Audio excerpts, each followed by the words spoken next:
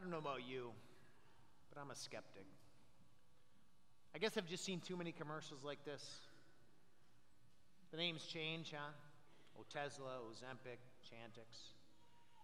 And they all contain kind of the same promise when you watch the commercial, don't they? That if you're lucky enough to have a doctor that'll prescribe you this medication, it's like a ticket to the fountain of youth. That all of a sudden you're going to pop up off the couch, you're going to play football, you're going to take up line dancing, you're going to kayak down a raging river. That suddenly you're going to get over your fears and you're going to do what you always dreamed to do, like join a circus or start a dog bakery and all kinds of other crazy things. And yet, as you watch this guy living the ideal life, you listen in the background, and what are they telling you? Side effect after side effect after side effect. I don't buy it. I don't believe any of it. And part of that maybe is smart. Chantix, for example, was taken off the shelves in July of 2021. It was used to help people quit smoking, but they took it off the shelf because it caused cancer, which is ironic because usually you quit smoking because you don't want to get cancer. But those medicines have a purpose.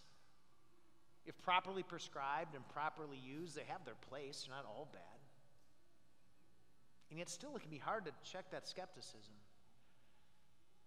I watch political debates or political ads, I don't believe any of it. And it's not all lies, and I don't think that skepticism makes me very well informed. And it carries over into so many parts of my life. I take my car to the shop, I go to the doctor, I go to the store, I look at the labels. Skepticism everywhere. You see, maybe I've been lied to too many times. And maybe some skepticism is healthy, but to be skeptical about everything is just as bad as being gullible. It doesn't make you informed. And I bet you I'm not alone. You see, right now we're going through the middle of a time where in our culture we're losing trust in our institutions. For example, Pew Research did a poll where they measured how much people trust their government. And they found that 2% of Americans trust the government to do the right thing just about all the time, and 21% of Americans trust the government to do the right thing most of the time, a combined 23%. They asked that exact same question in 1958. Do you know how many people fell into those two categories? 75% of Americans. Gallup did a poll on how much people trust the media these days. They found that 32% of Americans believe that, for the most part, the media is going to report the story fairly and accurately. The other two thirds of Americans don't believe them at all. They asked that question back in the 1970s. The answer always 70% or more trusted the media. You see, we live at a time where trust in institutions is at an all time low. I don't think I'm the only skeptic here. But that's nothing new. You see, trust in institutions has always come and gone. It's always waxed and it's waned. It's how it works. And if you went back to Jesus' day and he gave them a Gallup poll, I don't know what they would have said. If you asked them what they thought about their government or other institutions, who knows what the results would have been. But I know this when it comes to matters of faith, there is always a skeptic within. And you can see his dirty little fingerprints all over our sermon text. We read from John chapter 1. The next day, Jesus decided to leave for Galilee. Finding Philip, he said to him, Follow me. Philip, like Andrew and Peter, was from the town of Bethsaida. Philip found Nathanael and told him, We found the one Moses wrote about in the law, and about whom the prophets also wrote Jesus of Nazareth, the son of Joseph. Nazareth. Can anything good come from there? Nathanael asked. Here Philip is, excited to tell Nathanael about this guy he met, this Jesus, who he thinks is a promised Savior. But isn't it funny? Nothing can stop you dead in your tracks like skepticism. And we've all got that. That skeptic inside. You see, it doesn't matter what promise of God you're talking about. That skeptic inside is always going to find a reason to doubt. It's a unique aspect of every one of our sinful natures. it will always find some reason not to believe it. Always poke some hole in the messenger, no matter how charismatic he might be. Always find a way to point out some gap in the logic, no matter how well laid out it might be. Always find something to doubt. And that cripples us as messengers. And it has devastating effect because you know what? God gave them you. You see, there's only so many people that Pastor Dolan and Pastor Schultz and myself know. We only have so many connections. And we can be as engaging as we want and as friendly as we want, but they're never going to trust us like they trust you. Because they're your family, they're your friends, they're your relatives, they're your coworkers, they're your neighbors. They know you, you've built a relationship with them. No one can bring them to Jesus like you can. But it's a risk, isn't it? It's a risk. Because there's a part of us that's afraid that if we go there, we're going to take a good relationship and we're going to make it weird. A part of us is afraid that if we take them here, they're not going to be impressed. That if we sit down with them and we look at what Scripture says, they're going to look at us as if we're gullible and silly. That if we take them to the waters of baptism, it's going to look too simple. And if we tell them about the bread and wine of the Lord's Supper, it's going to seem too crazy. There's a part of us that's afraid that we're going to meet the skeptic inside of them because we know it's there, we know them. And more than that, because we see their point. You see, every one of us also has a skeptic inside. There's a part of every one of us that at times comes here and just doesn't get it.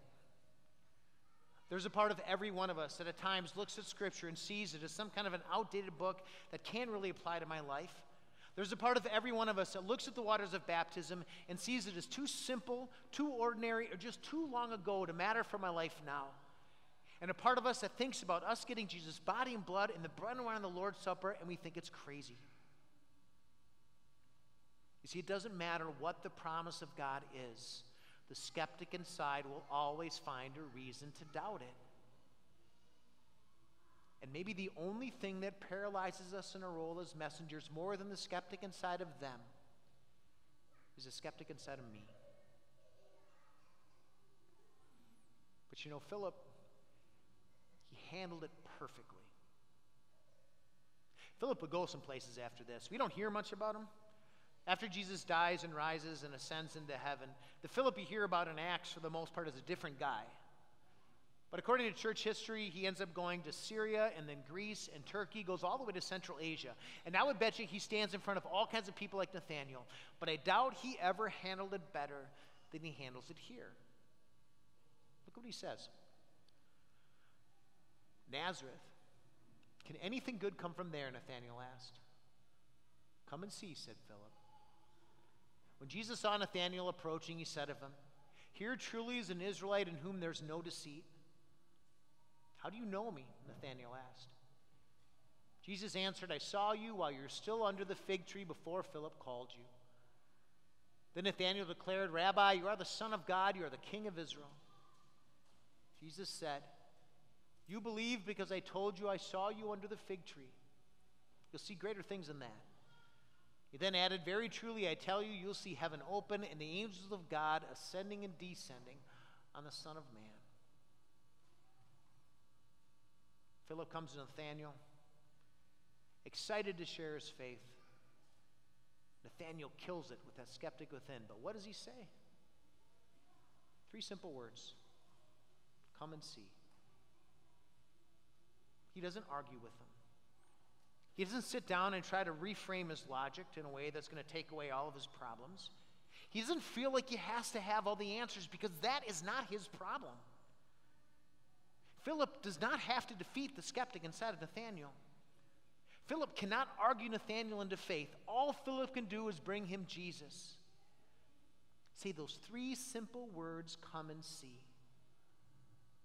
When Nathanael seizes upon how common Jesus looks, when he seizes upon Nazareth and how he thinks it's a dirtball town, he doesn't get into going back and forth and he doesn't storm off in a huff. He just brings him to Jesus. And Jesus does the rest. But you wonder what he was doing under that fig tree? Sitting under a fig tree was not a weird thing to do. It's actually a pretty common picture in the Old Testament. It would be like sitting in your car or your living room today. If someone said, I saw you sitting in the car, you wouldn't think that was that crazy, would you? You sit in your car a lot. But there must have been something.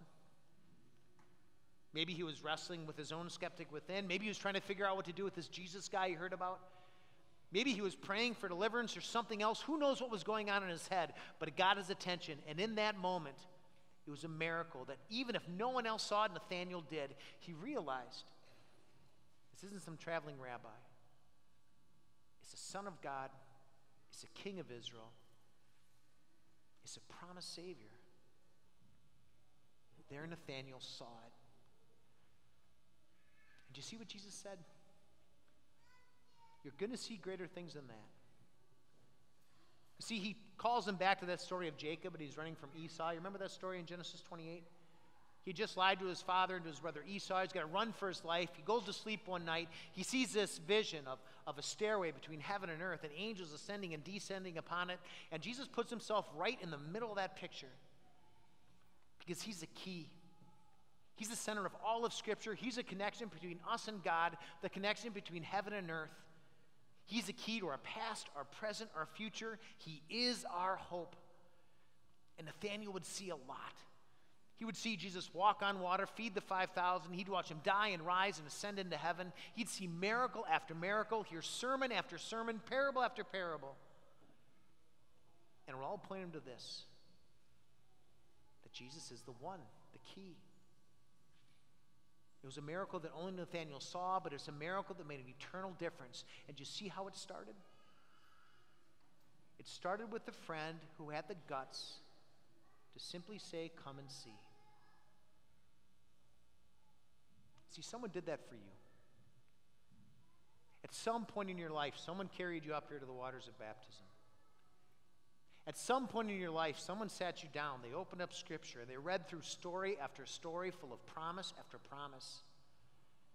At some time, people took you maybe to a place like this and they pointed you up and they told you that on that thing, all of your sin and your guilt and your death died when Jesus died on it. At some point, someone said those words Come and see. And Jesus takes care of the rest. To this day, no matter where you are in your walk of faith, He takes care of the rest. He's the one who defeats the skeptic within.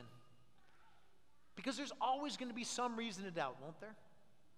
And we go through these different seasons in life where we doubt this or that. Sometimes we doubt God's forgiveness. Sometimes we doubt heaven and eternal life. Sometimes we doubt that God is protecting us. Other times we doubt that God really is controlling all things for the good of his people. There's so many reasons for us to doubt all around us. And Jesus doesn't retreat. And he doesn't change the promise so it's a little more palatable. Instead, what does he do?